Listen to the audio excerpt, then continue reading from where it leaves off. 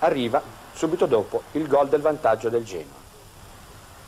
È Romano, splendido coordinamento, tiro rete 1-0. Ma su cross di Borghi per Selvaggi, Testoni, bella l'autorete, 1-1 il risultato.